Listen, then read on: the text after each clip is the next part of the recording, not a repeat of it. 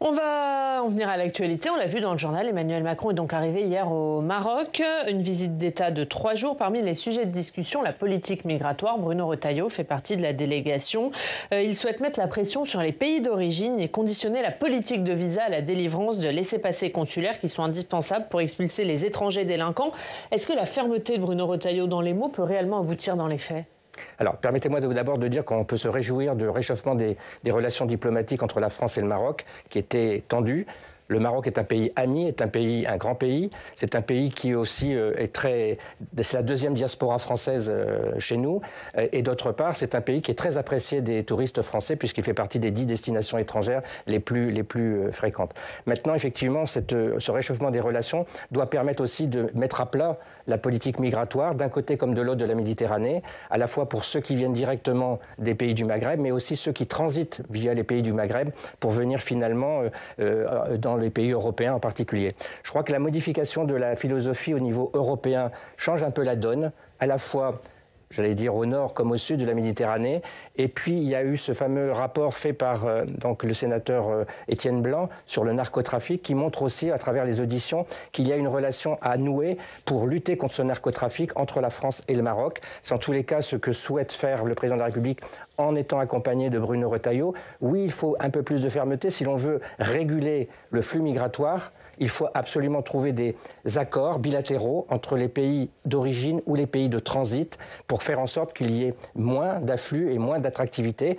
C'est aussi le fait de moins d'attractivité, de faire en sorte que la loi immigration qui avait été votée l'année dernière au Sénat, amputée de 35 articles par le Conseil constitutionnel, soit remise sur la table pour que véritablement on puisse avoir la maîtrise de ce flux migratoire. C'est une priorité pour vous, cette nouvelle loi immigration, alors que la précédente, elle n'est toujours pas appliquée hein non, mais la présente n'est pas appliquée, mais le problème, elle a été amputée d'un certain nombre d'éléments essentiels. Alors après, entre le vote d'une loi et les décrets d'application, on sait qu'il se passe toujours un temps trop long, malheureusement, mais il faut remettre effectivement le travail sur l'établi, parce qu'on voit bien qu'aujourd'hui, on n'est pas en, capacité de, avec les modalités aujourd'hui, de, résoudre ce problème de l'immigration euh, intensive, j'allais dire. Donc il nous faut remettre, ce, c'est prévu au mois de janvier de remettre cette loi sur le tapis, d'autant que le gouvernement précédent était tout à fait d'accord sur les mesures qui avaient été prises, parce qu'il avait même approuvé les amendements qui avaient été déposés par le Sénat. Donc je souhaite, euh, avec euh, la majorité sénatoriale, que l'on revienne sur ce, texte qui avait été, je vais le dire, censuré, entre guillemets, pour les 35 articles, non pas sur le fond, mais bien sur la forme, puisqu'ils étaient considérés comme des cavaliers législatifs. Avant de parler du budget et particulièrement des finances des collectivités, un mot sur le budget de la sécurité sociale, puisque les députés ont démarré l'examen hier. Parmi les mesures, il y a le décalage de six mois de l'indexation des pensions de retraite pour faire des économies. Euh, pour vous, c'est normal que les retraités contribuent aussi au redressement des finances? Alors, de toute façon, quel que soit le budget que l'on présente, compte tenu de l'obligation de réduire le pourcentage de, dette de, de, notre pays, euh, de le ramener à 5% du PIB, c'est forcément un budget qui va être difficile, qui va être lourd à supporter pour toutes les catégories. Et la volonté du Premier ministre, c'est naturellement que tout le monde participe à ce redressement des finances publiques, que ce soit euh, les, personnes âgées, que ce soit les personnes en activité, que ce soit les grandes entreprises, que ce soit euh, les, fonctionnaires. Il y a une volonté de partager cet effort. Il faut naturellement doser le curseur pour les uns et pour les autres. Pour les retraités, je pense qu'il y a effectivement, euh, j'étais de ceux qui pensaient qu'il fallait peut-être pouvoir limiter, en tout cas par rapport aux, plus basses retraites, cet impact de, repousser l'indexation au mois de juillet. Pour autant, on sait que c'est techniquement extrêmement compliqué puisque beaucoup de retraités bénéficient de retraites de plusieurs caisses et de faire sur six mois, je dirais, ce calcul et cette, cette manipulation, j'allais dire technique, est quasi impossible, en tout cas. Euh... Mais au-delà du technique, politiquement, est-ce que vous dites c'est normal qu'on décale et que les retraités participent aussi à l'effort et est-ce que tous les retraités doivent participer à l'effort? Je pense qu'il y a eu des revalorisations et des indexations qui ont été faites assez fortes les années précédentes. C'est un effort de six mois qui est demandé à chacun. C'est sûrement désagréable, mais c'est sûrement également nécessaire. Il y a des 5 milliards d'économies supplémentaires qui ont été annoncées euh, dimanche soir par le gouvernement, notamment dans la fonction publique. Le nombre de jours de carence, euh, c'est ce que veut le gouvernement. En tout cas, les passer de 1 à 3 en cas d'arrêt maladie, c'est comme dans le privé, et le remboursement d'arrêt maladie qui seront limités à 90% et non plus 100%. Est-ce que ce sont des mesures que vous soutiendrez? Oui, alors je vais soutenir la lutte contre l'absentéisme et de faire en sorte que l'on puisse euh, réduire ce taux, notamment dans la fonction publique, qui est plus élevé que dans le, domaine privé. d'essayer de rapprocher en tout cas ces, arrêts maladie pour faire en sorte qu'il n'y ait pas euh, d'abus, entre guillemets, ou en tout cas qu'il n'y ait pas d'excès qui euh, grèvent euh, sérieusement les, finances publiques et notamment les finances de la sécurité sociale. Donc oui, je soutiendrai ces idées parce que, encore une fois, les efforts sont à faire partout, ligne par ligne. Il y a eu un, budget qui a été voté, un PLF pour 2020, qui a été contrarié par la crise Covid, sur laquelle il y a eu des mesures tout à fait légitimes de, plan de relance, etc. Quand on est sorti de cette crise, on s'aperçoit aujourd'hui que les dépenses de fonctionnement continuent à grimper en retirant en soustrayant toutes les dépenses qui peuvent être consécutives à la crise Covid. On voit donc bien qu'il y a eu un dérapage des finances publiques par des allocations sociales, des allocations euh, diverses et variées aux entreprises, aux collectivités, qui nécessitent que l'on revienne dessus et qu'on regarde ligne par ligne. Eh bien, les indemnités journalières, c'est une ligne qu'il faut regarder avec conscience, avec justesse, et de faire en sorte, pour vous dire, euh, ça a été fait en 2008 de mémoire en Italie. Euh, ces mesures un petit peu de la, même nature ont permis de réduire l'absentéisme de 49%. C'est dire quand même qu'il y a un sujet, qu'il faut l'aborder, il faut le mesurer, il faut l'adapter à, la juste nécessité pour redresser les comptes publics. Parmi les autres économies voulues par le gouvernement, 5 milliards d'efforts sont donc demandés aux collectivités locales. On va voir le détail avec Alex Poussard qui nous rejoint.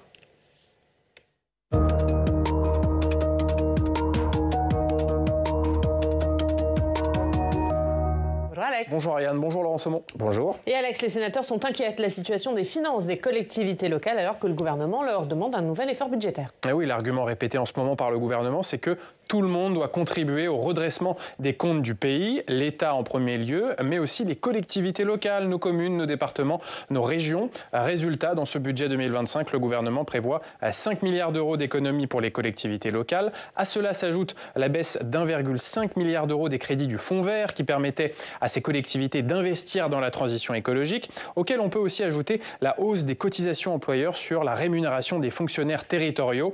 Au final, cela représente 9 milliards d'euros euh, de recettes en moins pour les collectivités selon l'Association des maires de France. Et parmi ces collectivités, eh bien certaines euh, sont en mauvaise santé financière. Il s'agit des départements. Euh, depuis des années, les départements voient leurs dépenses sociales augmenter. Ils gèrent par exemple les maisons de retraite ou l'accueil des migrants mineurs non accompagnés. Et puis dans le même temps, leurs recettes ces dernières années ont diminué puisque les départements perçoivent ce qu'on appelle les frais de notaire lors de la vente de biens immobiliers. Alors en vrai, en réalité, on parle de droits de mutation. Et avec la crise du logement, il y a moins euh, de transactions immobilières et donc moins de droits de mutation euh, pour les départements. On va écouter euh, sur ce point le président du département du Calvados, interrogé au Sénat la semaine dernière lors d'une table ronde sur les finances locales. Depuis deux ans, nous sommes en recul absolu de nos ressources, avec la baisse très forte des droits de mutation, puisque nous avons connu moins 3,5 milliards de droits de mutation en 2023, auxquels s'ajoutent pour 2024 2,5 milliards, c'est-à-dire qu'en six ans, de 2022 à 2024, nous avons eu moins 6 milliards d'euros de recettes. Nous sommes euh, à un point où si je voulais euh, le qualifier en mots un peu durs, je dirais, nous sommes probablement à la fin du processus d'assassinat financier des départements assassinat financier, les mots sont forts, alors que depuis des années, pour les, collectivités locales d'une manière générale, eh bien, euh, certains estiment qu'elles ont perdu leur autonomie fiscale, leur capacité à lever l'impôt pour financer leur politique, après euh, la suppression euh, de la taxe professionnelle sous Nicolas Sarkozy, la suppression de la taxe d'habitation sous Emmanuel Macron. Et d'ailleurs, dans ce débat budgétaire actuel, l'idée d'un retour de la taxe d'habitation est posée sur la table. Par exemple, Jean-François Copé, le maire Les Républicains de Meaux, a estimé, je le cite, que la grande erreur du quinquennat d'Emmanuel Macron, ça a été la suppression euh, de la taxe d'habitation. Les députés insoumis ont d'ailleurs euh, déposé un amendement en ce sens euh, dans l'examen du projet de loi de finances. Alors le gouvernement a estimé qu'il n'était pas favorable au retour de la taxe d'habitation, mais il est ouvert à une réforme de la fiscalité des collectivités locales. Laurent Saumon, est-ce qu'il faut rétablir la taxe d'habitation? Alors, tout d'abord, dire que je confirme complètement ce qu'a pu dire Léonce Dupont, parce qu'effectivement, les collectivités sont durement frappées par ce budget et qu'il est nécessaire de revenir sur la copie. Ça sera en tout cas, vous vous en doutez bien, au Sénat l'objet, compte tenu de la représentation et du rôle du, Sénat de représenter les collectivités locales, de défendre et d'expliquer le pourquoi il faut y revenir. Maintenant, quant à recréer un nouvel impôt, comme la taxe d'habitation qui a été supprimée sans concertation avec les collectivités locales, il faut le rappeler, et, avec les conséquences que l'on connaît aujourd'hui, c'est-à-dire le désengagement complet, je dirais, de la conscience des citoyens euh, contribuables sur les efforts faits par les collectivités locales en termes de services apportés. Euh, donc moi, je ne suis pas favorable. Par, contre, il est nécessaire de revenir sur l'ensemble de la fiscalité, et notamment de la fiscalité locale, parce qu'à force de donner, de supprimer la fiscalité locale à la main des collectivités, c'est l'État qui compense et finalement, à partir d'une taxe, qui est la, taxe de la valeur ajoutée, la TVA, euh, qui finalement de plus en plus se réduit comme peau de chagrin pour les recettes de l'État et qui pour autant ne satisfait pas, compte tenu de ces hausses et de ces baisses, malgré de dire que c'est dynamique, ils ne satisfont pas les, nécessités des collectivités locales. Donc, pas spécifiquement revenir à la taxe d'habitation, mais revenir sur la fiscalité locale me paraît absolument indispensable. Vous craignez que la taxe d'habitation ne soit plus autant compensée dans les années à venir compte tenu de la situation des finances publiques? Ben, je vous rappelle qu'elle ne l'est d'ailleurs pas, parce qu'en général, c'est au moment du transfert des, fiscalités que l'État décide de euh, compenser à l'année N et que parfois il n'y a pas la compensation, en tout cas euh, selon l'inflation, selon les, nécessités fonctionnelles des collectivités locales, il n'y a pas une revalorisation à la hauteur de ce qui est nécessaire. Et donc oui, on peut craindre que finalement on étrangle les collectivités en limitant, en contraignant l'enveloppe de compensation qui est versée par l'État. Alors vous dites qu'il faut réformer la fiscalité locale, mais sans créer un nouvel impôt. Alors concrètement, comment, comment on fait? Non, je ne sais pas si c'est. Il faudra peut-être créer un, impôt local. Je pense que, comme je vous le disais tout à l'heure, qu'il est nécessaire qu'il y ait un lien entre l'impôt et les services rendus selon la strate qui, euh, qui, qui, qui gère ces services la région pour ce qui est de l'économie, le, département pour ce qui est du social, euh, la commune pour ce qui est des services de proximité. Il faut véritablement, selon moi, qu'il y ait un lien entre la fiscalité locale et les services rendus et les compétences des collectivités.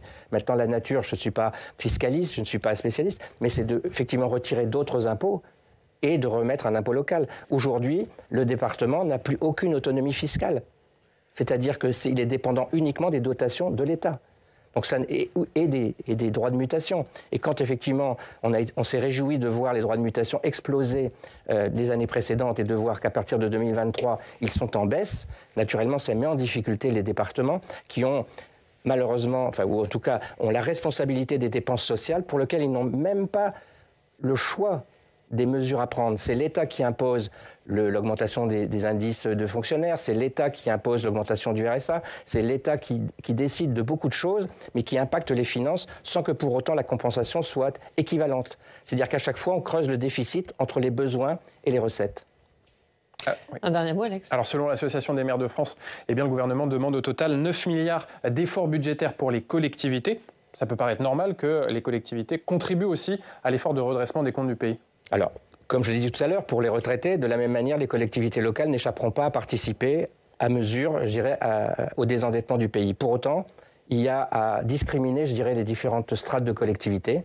Il ne s'agit pas de dire c'est les communes de plus de 40 millions de, budget qui doivent contribuer. Ça n'a aucun sens. Si je prends les départements, on sait aujourd'hui que pour désendetter, il faut donc. D'abord, les collectivités locales ne représentent que 8% de l'endettement euh, national. Donc c'est dire quand même que l'effort qui est demandé est disproportionné par rapport à l'impact qu'il joue sur l'endettement national. Mais si on veut désendetter, il faut donc que les collectivités locales se désendettent pour participer au désendettement national. Ça n'est pas en faisant des soustractions sur les dotations de fonctionnement, mais bien sur l'investissement et sur les emprunts que font les collectivités locales qu'il faut agir. Et l'idée qui, qui, me paraît plutôt intelligente, c'est de dire les euh, collectivités qui ont un taux d'épargne qui est avec un taux de désendettement qui est court, sont des bons gestionnaires et, participent, moins à l'endettement du pays. Par contre, celles qui ont des taux d'endettement extrêmement élevés, avec des durées de désendettement qui sont trop élevées, naturellement doivent être contraintes à avoir une gestion plus rigoureuse. Et donc le, taux d'épargne brut et le temps de désendettement qui est, doit être fixé me paraît d'être nature plus, consensuelle, ou en tout cas serait mieux accepté par les collectivités locales et en particulier les départements. Alors concrètement, comment la droite sénatoriale peut améliorer ce dispositif budgétaire pour les collectivités? Est-ce qu'il faut aussi sortir certaines collectivités en difficulté, notamment les départements euh, de euh, ce dispositif d'effort? Alors c'est déjà fait, il y a déjà un certain nombre de départements et de collectivités les plus en difficulté qui sont déjà retirés du dispositif présenté par le Premier ministre. Mais c'est une vingtaine de départements. C'est une vingtaine de départements, mais on voit bien qu'il y en a d'autres qui vont chuter. Si on diminue les dotations de fonctionnement, ils vont être obligés d'abandonner un certain nombre de d'actions, et en particulier l'investissement, sachant quand même que les collectivités locales, c'est 60% de l'investissement public. Si, si en diminuant le fonctionnement, les, compensations de fonctionnement pour les collectivités, on réduit l'investissement local, c'est tous les territoires qui vont en subir les conséquences en termes d'emploi, en termes d'entreprise. Donc il faut être très vigilant. Ce qu'il faut faire, c'est naturellement revenir sur cette somme qui paraît encore une fois exagérément disproportionnée par rapport aux capacités des collectivités locales, mais il faudra en contrepartie qu'on en trouve si l'on propose des, exonérations, j'allais dire, il faudra qu'on trouve les solutions à, la même hauteur sur d'autres politiques. C'est en tous les cas le travail, j'allais dire ligne par ligne, politique par politique, qu'il va falloir éplucher, en tout cas que la Commission des finances, avec son rapporteur général, a décidé de faire. C'est véritablement, bien sûr, d'améliorer la situation des collectivités locales eu égard ce qui est proposé par le gouvernement et qui est insupportable pour les collectivités locales, mais en même temps, de trouver les compensations des économies qu'on va faire sur les collectivités locales, entre guillemets économies, hein, parce que c'est quelque chose qui leur est dû, mais euh, de trouver sur d'autres lignes politiques les, moyens de résorber ce que l'on ne demandera pas aux collectivités locales. Merci Alex. À tout à l'heure. À tout à l'heure. On termine euh, par euh, l'actualité dans votre département de la Somme. Laurent Saumon avec nos partenaires de la presse régionale. On retrouve Jean-Marc Chevauché. Bonjour Jean-Marc. Merci beaucoup euh, d'être avec nous, rédacteur en chef adjoint du Courrier Picard. Jean-Marc, on parle avec vous de la colère des agriculteurs. Oui, Oriane. Alors, on le sait, la Picardie, c'est une région très, très agricole. D'ailleurs, une des premières richesses de la Picardie, c'est l'agriculture. Et euh, dans le cadre du rapport des, agriculteurs avec les collectivités locales, il y a eu une proposition de loi récemment au Sénat qui a été portée par euh, Antoine Lefebvre, euh, votre collègue de l'Aisne, un Picard aussi, qui a proposé qu'on regarde de près l'activité que déploient les agriculteurs au profit des collectivités locales, parce qu'il y en a beaucoup, qui, on sait, les agriculteurs euh, mettent leurs euh, tracteurs à disposition pour déneiger les routes l'hiver, mais pas seulement.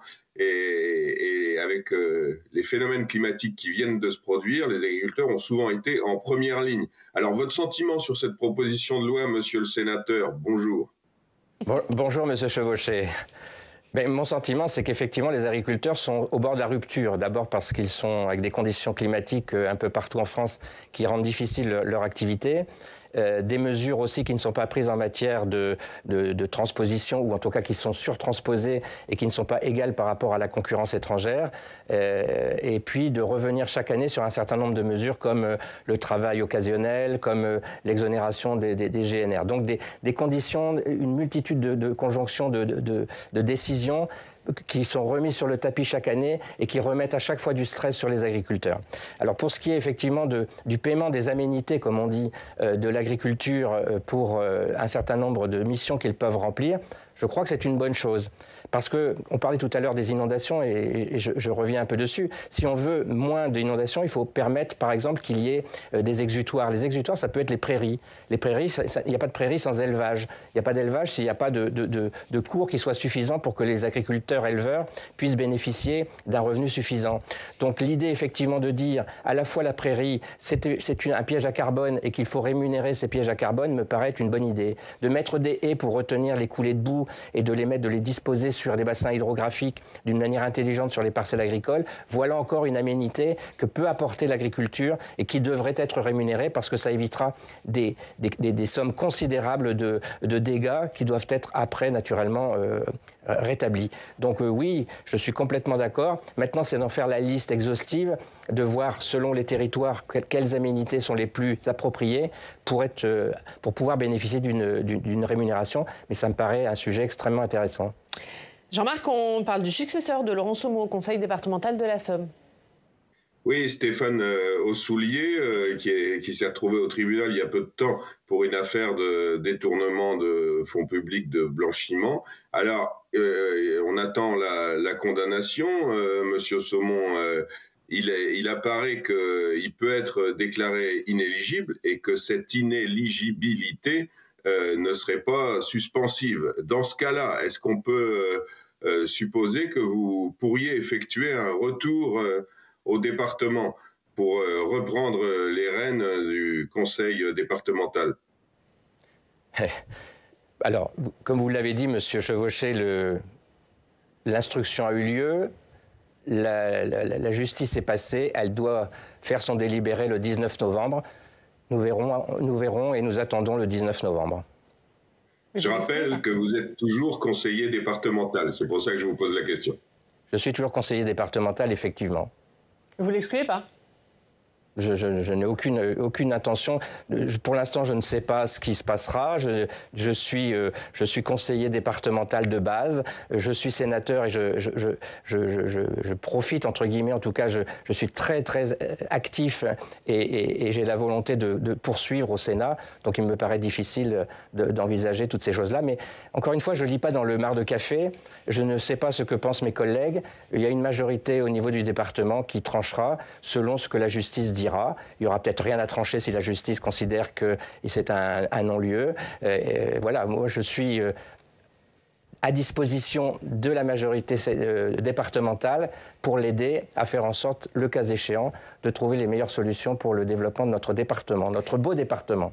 Merci Jean-Marc Chevauché. On regarde la ligne du courrier Picard, campagne betteravière en Picardie, des routes sous tension. C'est à la une euh, de votre journal ce matin. Merci Jean-Marc d'avoir été avec nous. Merci Laurent Saumon. Merci. D'avoir été notre invité pendant cette première demi-heure.